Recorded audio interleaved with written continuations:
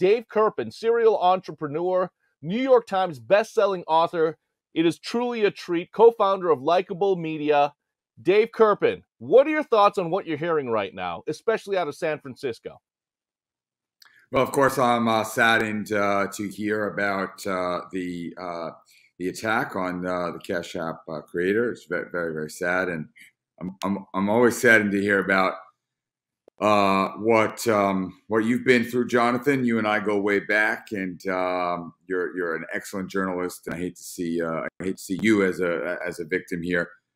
you know, in the, in New York, where I where I live, we've definitely seen a, an uptick in crime in the city uh, poverty. I mean, I'm definitely no expert on this topic, but in my experience, the pandemic exacerbated a uh, the disparity in wealth, and and um, poor folks are uh, turning to crime. I mean that that story is not a new story, so we, have seen that over and over again. And uh, when people are poor, they uh, end up uh, turning to crime, and and uh, it's a it's a difficult cycle. And I certainly don't have the answers to it, but but I think cities are are, are have some challenging uh, times ahead.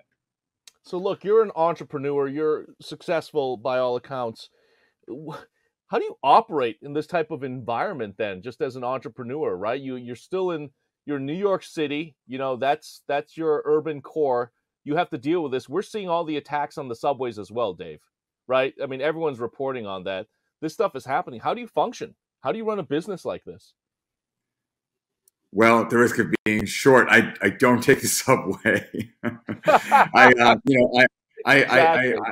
I, I, I, I, focus on you know first and foremost keeping my my my family safe and, and, and keeping me safe and um, uh, we, we we we this is a, perhaps another topic but but we've we've uh, made our businesses essentially work from home uh, for the most part, and um, that's where people feel safest, and uh, that's that's certainly fine by me.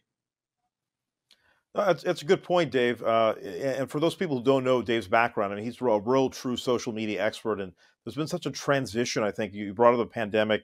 Uh, I, I, think social media has also caused some of these changes uh, in in our society, the way people react to things. Uh, so Dave was at the forefront of Facebook and that revolution that Facebook set in now. That might be old tech for some of our viewers and, and listeners now, obviously for those people that are on TikTok and some of these newer technologies. But uh, Dave, connect going back to that era, you were one of the first folks to embrace Facebook as it was really starting to go nuclear viral across the globe. And where we are today, you know, like a decade later with social media, with TikTok, with Twitter, uh, we've had this kind of change. Uh, give us your thoughts on just social media over the years and where we are now? Well, things change. Things change uh, relatively quickly. It's funny because uh, you were um, you were uh, I saw in the, in the, in the show notes we were talking about what's going on with TikTok, and and and of course there are some folks that are saying uh, uh, there's no way TikTok or Twitter can um, can uh, go away because of the network effect, but um, but MySpace went away and uh, Friendster went away, and Facebook basically Meta, the company, obviously still here, but Facebook usage has gone way, way, way down. And so, in fact, the only thing I do know is that eventually TikTok will be no more and uh, Twitter will be no more. So it's really just a matter of time, right? The, the world changes, the world evolves. Um, you know, people, people, uh, people would have said uh, in the 1990s that Blockbuster's never going away, but we all know what happened. And so um, I think for me, it's been really exciting to be on the cutting edge, as you mentioned. Um, but I don't take anything for granted in terms of the the uh, the longevity of things because with the with, as technology continues to evolve, the rate of acceleration continues to uh, uh, continues to go up and up and up. So things are changing even faster than ever before, which is both very exciting and also very scary and overwhelming for a lot of folks. I want to I want to follow though, Dave. I mean, do you think the way social media is today? I, you know, I, am old enough to know what MySpace is, Friendster, Facebook, and this iteration. Do you think social media has gotten to a point where you again, everyone has a cell phone, everyone's consuming so much media, whether it's you know YouTube or one of these social uh, apps to to connect with other people. Has it changed our society where we're getting we have shorter tempers? people are getting violent. We have a pandemic. can you connect some of this together? Because I, I, feel as if a lot of folks got stuck at home for two years. We have, you know, some people will have the fortunate uh, ability to work from home, and other folks had to be there on the job in PPE, uh, you know, fighting for their lives, uh, you know, potentially getting infected by a, infected by a coronavirus. I mean, it, has been a really trying time uh, for our society. I mean, this has social media played a role in in where we are right now. Sure. Well, you know, the, the way I would connect it, um, and and and and and I'll I'll sort of talk about the the emergence of another big social network, uh, uh, BeReal. Uh, the way I will connect it is that uh, is that with, with social media, people see highlight reel. So people see people's best best moments. That's what they're sharing on on Instagram and TikTok. Uh, previously Facebook and the and, and, and other social networks, you're seeing you're seeing a collection of highlight reels. And if you're if you're watching a highlight reel, whether you're a teenager, which which there's been a lot in the media about, or frankly an adult, um, you're always comparing yourself and your life to the very very best moments from other people's lives.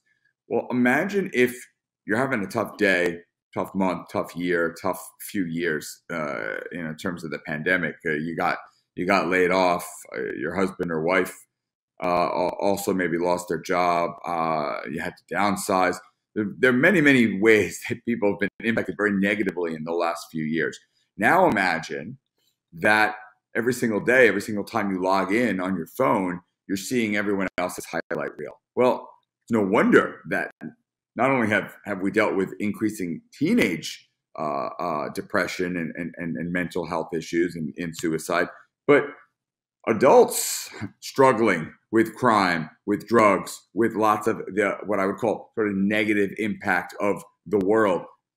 And social media has played a role in that because people are comparing their own lives to the highlight reels that are out there. Now, what's interesting about the emergence of BeReal is uh, the idea behind it as a social network is to intentionally not capture people's highlight reel, but capture just a just a random moment in people's days and I think there's something really to be said for that. And people are sort are it's catching on because people actually don't. There's a there's a there's an element of the the, the rest of social media where where people don't like that highlight reel.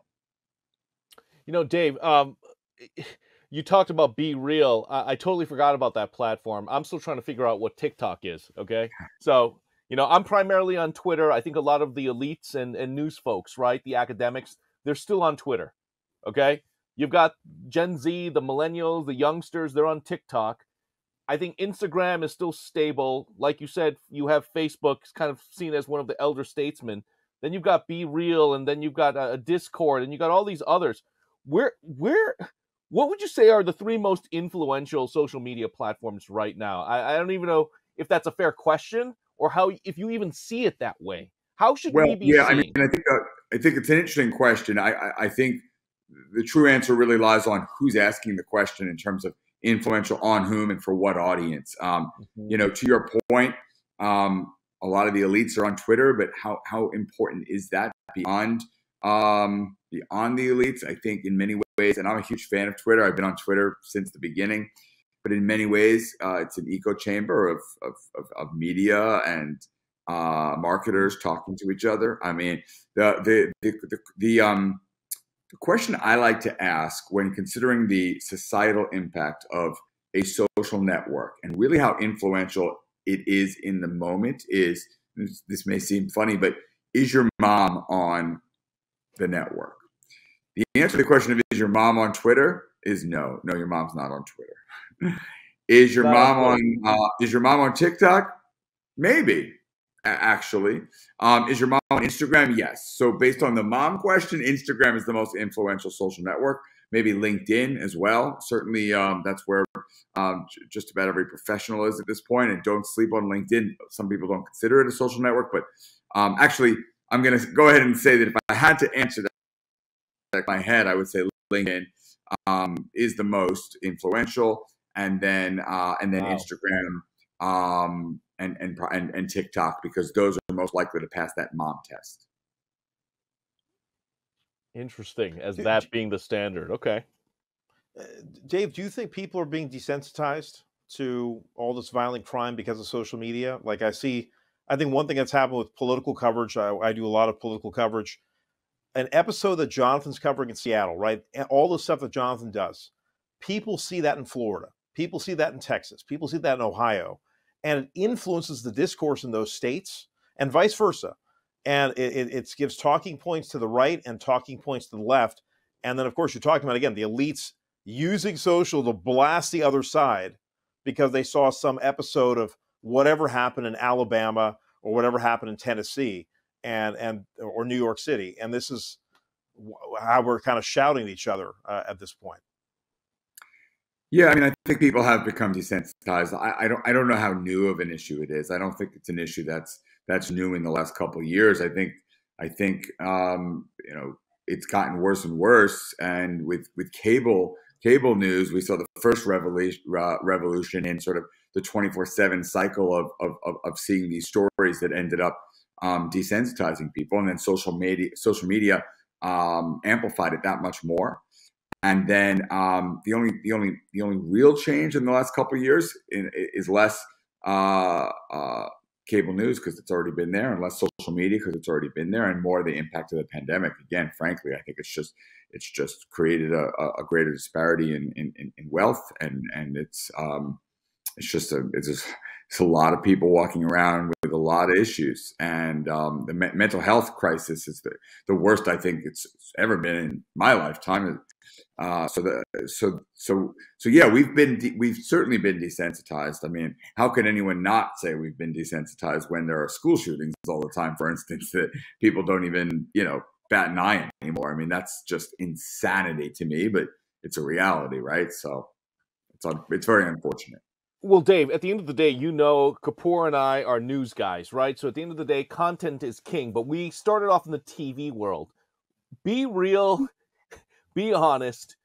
When you ask your peers, your colleagues, even yourself, do you still consume news from the television set? I mean, where do you get most of your news at this point now? Yeah, so I I I I I, I get a little news from TV, not a lot. Uh, I'm getting my news online. I'm getting my news through through Twitter, through social, and I'll tell you with 100% certainty that my children uh, ranging in age from uh, 7 to 20, 7, 15, and 20. They're getting their news from TikTok and YouTube. Wow. Absolutely. Absolutely. And so um, it's, it's, it's an evolution. And so you just have to like not be an old fart and fight it as, as we old folks tend to do, but embrace it and really understand the direction that folks are going in. So give us some quick insight, right? As we kind of wrap, I want to I want to get a few more questions in, but what you've always been two three steps ahead right? I mean that's how you've been essentially relevant in so many ways. People turn to you now for advice. You you have been giving people advice for a very long time but you know ai right and social media i mean this is what are you working on next? Where do you recommend we all need to be and where do we need to be focusing on before it blows up right? What do you think is going to, going to happen next? Yeah I, I mean i think um I think it's been in the news quite a bit, and yet I think most people, if I think of again the mom test or the uh, my poker club, uh, the twenty guys that I see every every every Friday night and play play cards with, um, folks do not realize yet the full potential of GPT and uh, the language learning models. ChatGPT being the most sort of famous in the news now, but um, but Google's uh, Bard is, is, is is right around the corner as a as a major competitor, and what GPT can do is absolutely um, revolutionary. I mean, when Elon Musk and other technologists are saying stop the technology, you know that this this is really really crazy stuff.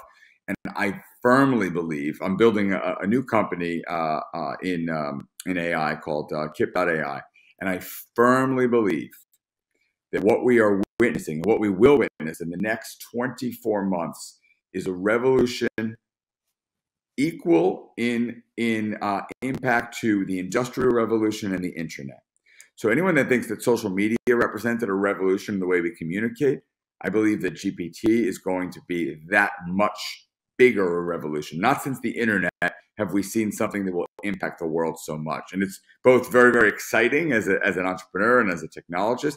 And it's very, very scary, of course, as a, as a, as a consumer because, you know, it's the sort of science fiction that we only dreamed about, about robots taking over the, over the world, suddenly seems a lot more realistic now. Uh, Dave, what aspect of AI are you going to be tackling? Because there's so many folks that are trying to, you know, build things to integrate with OpenAI. Yeah, we're working. We're working specifically with uh, enterprise.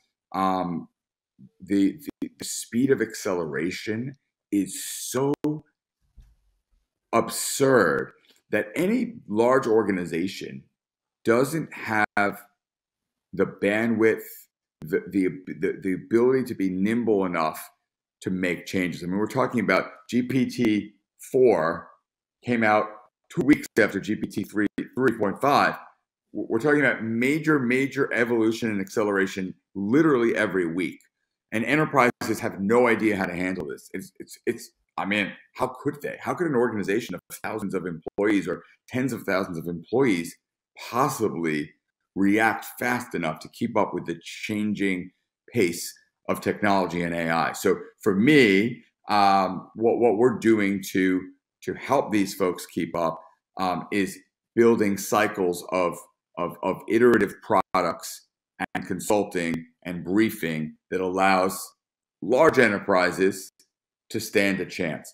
I, I, I, I promise you, timestamp this, timestamp this uh, this segment because 24 months from now, you will see a major reshuffling of the Fortune 500, the largest reshuffling of the Fortune 500 in any two year period in the history of the Fortune 500.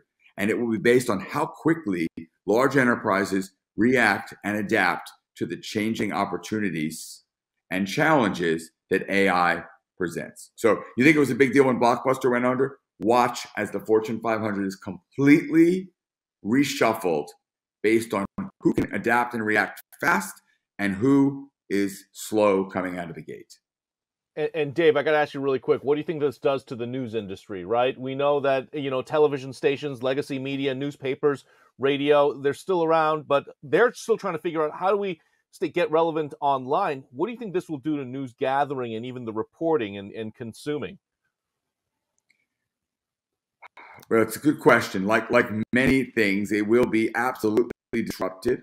Um, there will be lots of opportunities for uh, cameras, I imagine, to capture news and for uh, AI to help analyze uh, news, write segments, write, write, write uh, uh, uh, aspects.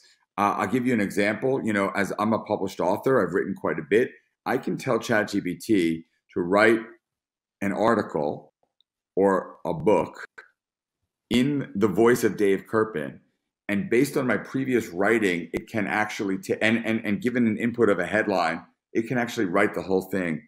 And not only is it well written, I'd like to think, but it's actually literally written in my voice. So imagine the impact on on um, on news. Same way, write write an article. Here's the headline, and write in in in this voice. Um, write it with a slight liberal bias. Write it with a unnoticeable conservative bias. I mean, the, the, the implications are, are, are dramatic when you think about the opportunity that um, AI can understand what's out there and um, and uh, create essentially create and distribute the news.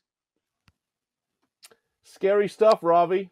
Lot to process. I, I, and exciting too. I mean, again, I'm I'm in San Francisco. We we're talking about some of the horrific crime out here, but nine of the top ten AI startups in this country are in San Francisco, and this place is on fire.